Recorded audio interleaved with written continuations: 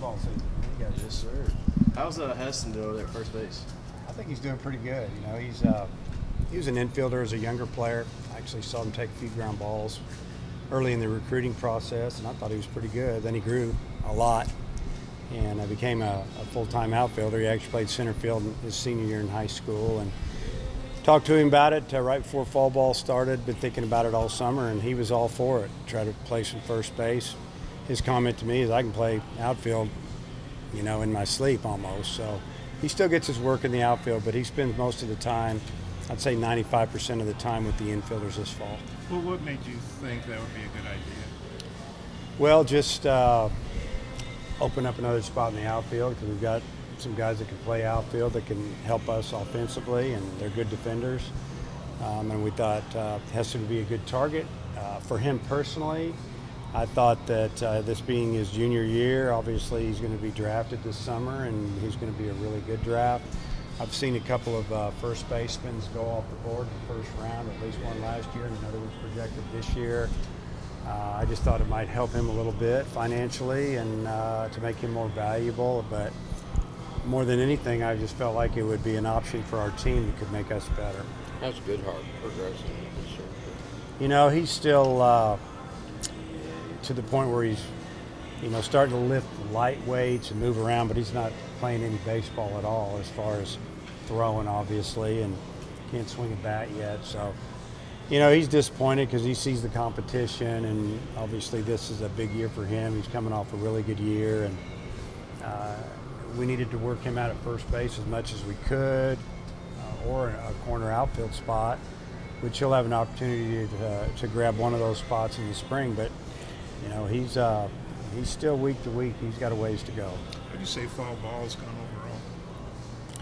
I, th- I think overall it's been good. You know, up until really the last few days, we no one's really gotten hurt. We had one of our transfer students, uh, Braydon Webb, get hurt yesterday. He's one of our starters. He made a great diving catch in left field and hurt his shoulder. He probably won't be playing for a while, and definitely won't be playing tomorrow. Uh, but it's it's been good because we've we've got to uh, scrimmage a lot, see a lot of the young arms. Returners seem to be better than they were. They're stronger. Um, I'm one of those guys that I don't I don't go crazy in fall ball trying to put everything in. I think you just have to pace yourself. The, the way our game works, when we get off the field in October, we can work out inside, we can work out here, and, and just continue on. But you know, we're still uh, we're still just playing the game and observing for the most part. There's a lot of teaching going on, especially on the mound, and then offensively. Uh, you know, as far as defensively, I think guys kind of are seeing what they need to do to get better, and, and we're working on it. It's made a difference for Connor to have just be playing baseball this, this fall. Well, you know, obviously we didn't have him last fall, but he's he's better now this fall than he was last spring, and that's I think that's just you know normal for a really good athlete that's playing uh, one sport at age 20 and he can just focus on that. You know, it's if he was a hitter, an outfielder, and he was playing football, maybe it's a little different. But when you're throwing a baseball and then you're throwing a football, it's kind of some different arm arm action there, and, and it, it's, it's difficult. But I've seen his arm strength improve, velocity's up, breaking stuff is really good, um, and I just it's good to have him around in the fall for uh, leadership, and players respect him, and uh, he's, he's a great teammate. So. I guess to answer your question, I've seen him get better in three or four months um, at uh, at a really good pace. As far as, far as position players, what, will your lineup look like tomorrow night? Um, you know, you'll Opitz will catch some and, and start out, and Heston will be at uh, first, and uh, Nesbit will be at second, and we'll have a, our grad transfer Cole will be playing third, and Martin will play short. Franklin will be in center. Uh, right field is probably going to be Zach Gregory. He was an infielder here. Uh, when I, I redshirted him last year, he swung the bat extremely well. He's been kind of an on-base guy, and he deserves to get in the lineup. I think we're going to put him in the lineup, and then you know left field would have been Webb uh, probably, and uh, but he got hurt, so we're still making a decision there, and then uh, probably going to DH freshman named Thomas, and then he'll also catch and. I'll probably catch another guy or two, but uh, yeah, that's what it's looking like. Who, who are the guys you're thinking about on the left? Um, Bryce, Bryce Matthews, true freshman, has been swinging the bat really well. Um, still got a ways to go in some other aspects of the game, but if you're just talking about offensively, you know, he probably deserves to be out there as much as anyone. And uh, you know, I think Curtis Washington's played pretty well. Um, really good defense. Hasn't swung it like he wants to, but he'll definitely play tomorrow. And Trey Harris has swung the bat good. He's better than he was last year. He's improved from through summer ball. And, and there's some freshmen that have an opportunity to get in the lineup and at different positions, and they'll probably play more towards the end of the games. What's your ro- pitching rotation going to be? Um, I think we're going to start Kevin Kopps and then probably go with Wicklander and then Connor Noland after that. And those guys, if that goes good, might all go around two innings max. And then maybe we'll just run a bunch of single innings out there, one inning piece for a bunch of guys. And the plan, if weather permits, is play nine and then take a little break and then play five more. Play play 14 innings and there won't be much of a break. Last year was too big a break. The umpires went in and changed that. We've worked it out where we'll probably drag the field after nine and get it going again. And maybe we have three umpires to start, but when that's going on, we have two. Game starting later. Um, we're going to try to, you know, maybe we're taking a seven or eight minute break from the ninth to the tenth, and then take it on into midnight probably. So. Yeah, seven thirty is at like Oklahoma couldn't get over here. Well, the, the, the way it works is you can't, you're not supposed to miss class. So they're having to wait for most of their guys or all their guys to get out of class so they can get over here. Uh, last year, Wichita State, they, the way their schedule worked out, most of their guys were out on Friday early. So, and the ones that weren't, they actually came a little later. So, uh, Oklahoma will get here in plenty of time to get all their pregame work in, and but that's why we pushed it back to 7:30. Yeah, we would like to play at 6:30 or 7, but it didn't work out. It's just the way it goes. Connor mentioned Tomez as a guy he's had a hard time getting out. What, what's impressed you about him?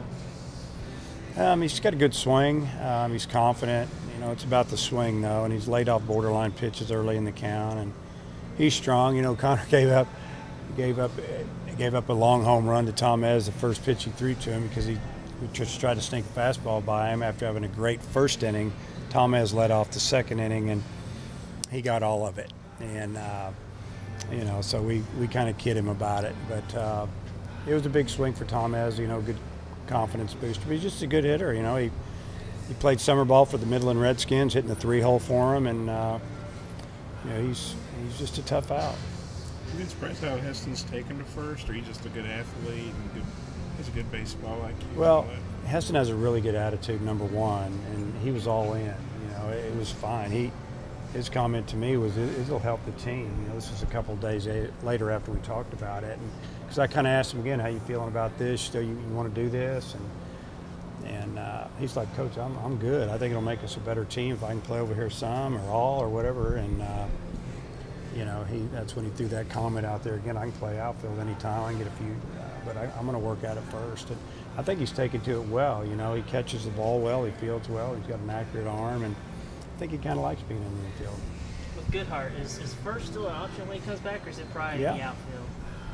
No, it'll be an option. The problem is, you know, how's he going to throw? You know, I think he'll, the, the bat should be ahead of the arm. You know, you're talking a, reference it a little bit, a, a Trevor Ezell type injury, and, you know, you saw how he threw, and he had surgery earlier, you know, just a little bit earlier. So um, it, it's just going to take some time. I think he's, he's looking at DHing and playing first, and uh, that's what's so frustrating for you know for him is that this fall was going to be big for him to work at first base, and then when he you know when the arm was just didn't recover, we knew it was hurt. We just didn't know how bad.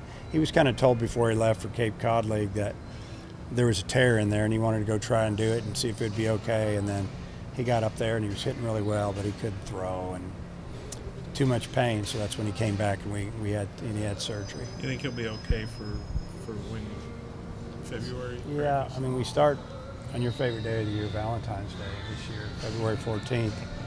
So I don't know if he'll be ready by February 14th. I hope he is. You know, Trevor was available to hit last year, opening days, and even played first base. So uh, I know that Matt's going to work as hard as he can to try to get back, but we want to make sure he's he's good to go before we put him out there. Think of as a starter? just feel like he's thrown the ball really well. Um, he came back, you know, and he had a chance to sign. He, he didn't get drafted, but he could have. Told him he was coming back for the most part.